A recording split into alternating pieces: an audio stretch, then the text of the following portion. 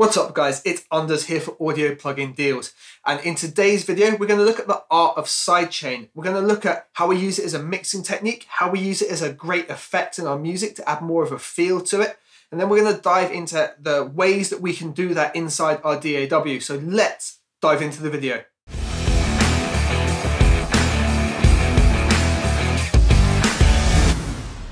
Let's have a look in Logic, uh, essentially what the basics of sidechaining are and what you can use it for to help improve your music production. So the techniques I'm going to talk through today, while some bits are going to apply directly to Logic, every DAW has some way in which you do sidechaining. Now in most cases you're going to send one audio signal to another. Cubase, Ableton, Logic, it's all very, very similar. Things like FL Studio is ever so slightly different and it's done via the mixer, but the result and purpose of doing it is really the same. So let's just take a little chunk of this track and I'll show you how I've used a common type of mixing sidechain just so that the drums and the bass don't fight together too much. Hold up, don't get lost in the source. Jedi mind tricks, don't get lost in the force. Hungry for the money, free course meal. I send my name for the bill, and I'ma pay that. Always keep it real. I'm independent, I don't need no deal. I'm jaws on the beat, I got flow that kills. So we're gonna mute all the vocals out. Now we've got our drums and our bass working together.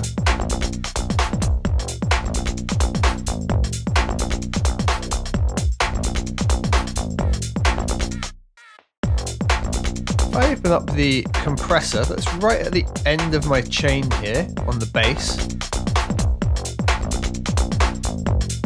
we can see that it's moving with the kick drum.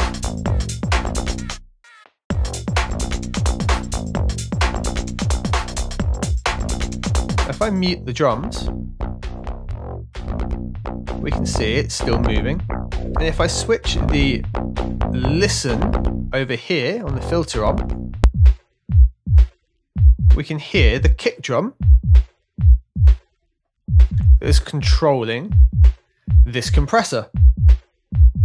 And we can see actively what it's doing there. It's dropping the signal by about two and a half to three dB each time it comes in. And it's doing it in time with the kick drum, moving the bass out of the way just by a couple of dB so that the kick drum can sneak through. So if we switch the filter back on, pay attention now to how the kick drum cuts through the bass nice and easily.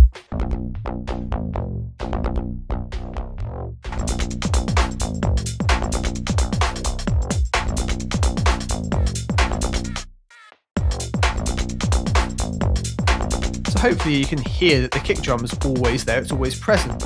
It's not overly overpowering, but it's balanced. Now if I turn this compressor off, listen to how the kick drum then disappears.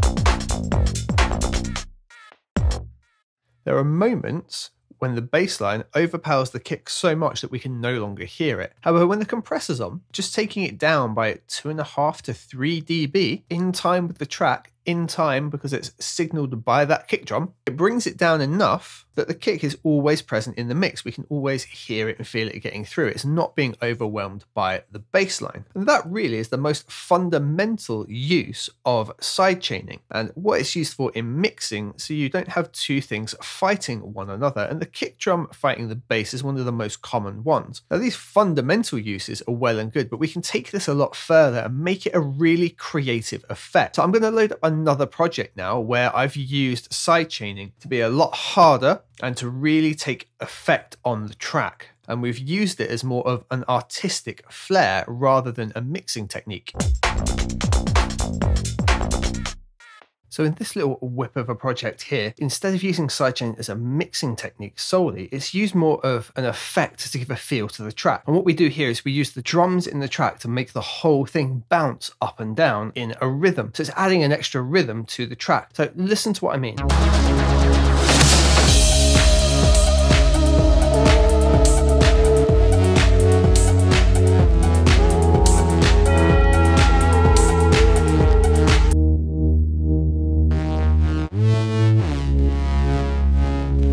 These three elements all pulsating together with the drums.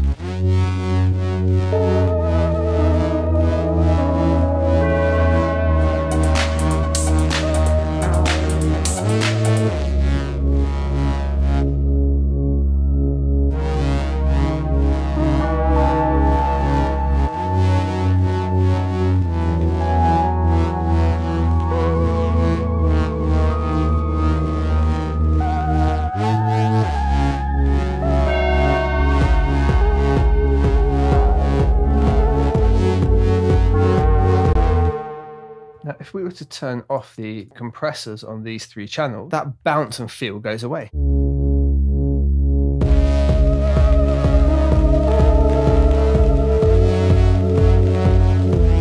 If we turn them back on, we get that feel of the rhythm with the track again.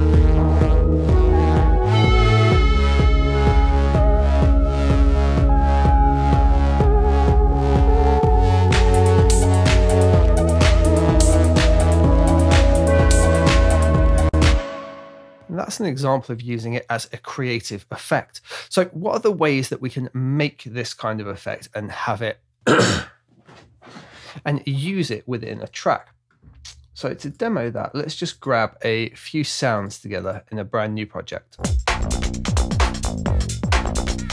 So we've thrown some loops together in Logic nice and quickly here, and we've got some drums and bass that work pretty well together, but there's some extra things we can do to them to give them that feel. Now, the first one is that mix technique, using the compressor to get the drums to drop the bass a little bit, and we can use that as an effect to add a rhythm as well. So to set it up is relatively simple. We're going to get the compressor added on Logic just here, and in Logic, this top panel here, which if you can't see, just needs to tap this little gray oval here, set the side chain channel, and we're going to choose the deeper meaning beat here. Now this beat will now control the compressor. And we can see it controlling the compressor here, even though the compressor is loaded on the bass channel. And that's because we've chosen it as a sidechain input. Some things we'd probably like to set up would turn auto gain off. We don't want it to automatically bring the level back up and over squish everything because we're not looking to reduce dynamic range here. We're just looking to make a little bit of space. Second thing is we want this attack to happen quite quickly, but not so quickly that it causes an issue with the bass. So we're going to bring it down to around five milliseconds. But if we hear it start to pop and click, then we're going to give it slightly longer. Now the release can depend on the BPM of the track track. I usually find somewhere between 50 and 80 is going to work pretty well, or we can leave the auto adaptive release on. So now we'll have something a little bit more like this.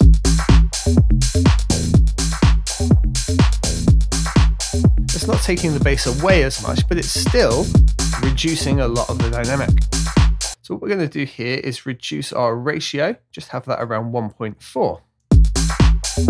Now it's taking around 5 dB. We're just going to bring the threshold just to take it back a little bit less.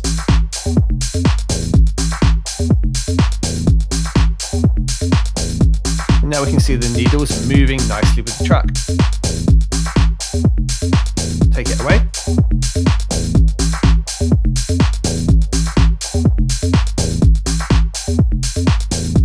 It just it just gets you moving your head a little bit more. There's an extra rhythm in there.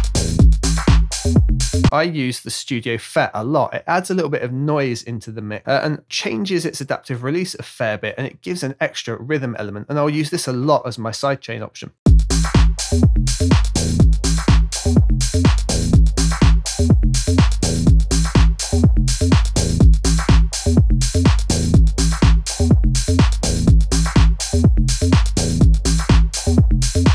Something else that can be done is to sidechain everything to the main kick drum. And to ensure that other drums aren't triggering, what we can do is in the filter section, make sure that low pass mode is on. And we're going to reduce it down so just the kick drum is the one triggering. So now we shouldn't see the needle bouncing as much as it was previously. Now just being triggered by the kick.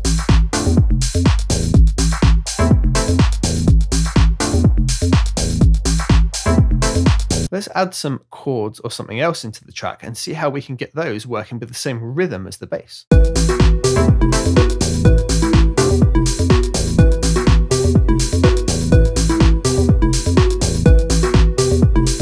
So we've added this nice melody over the track.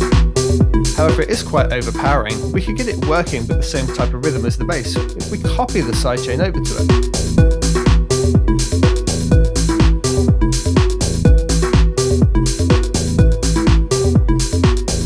This time we might want the attack to be a little bit slower and the release to be a little bit longer. It's going to have the same trigger time for the rhythm, but it's going to pump a little bit more this way.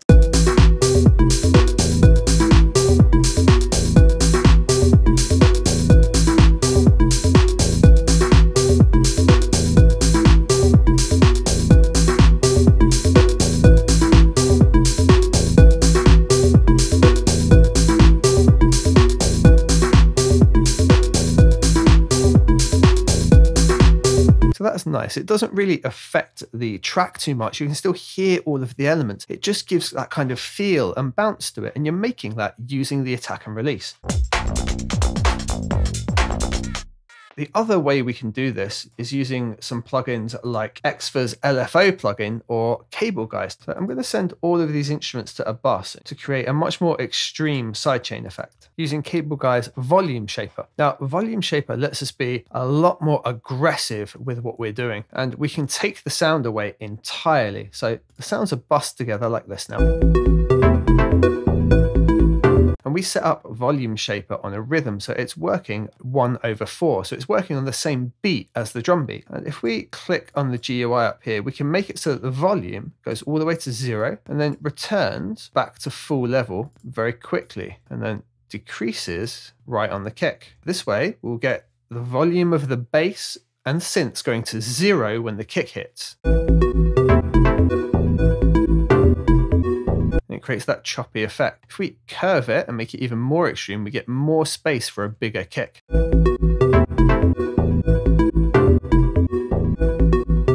So now the volume's been taken out entirely, giving endless room for the kick drum so that we get this kind of effect.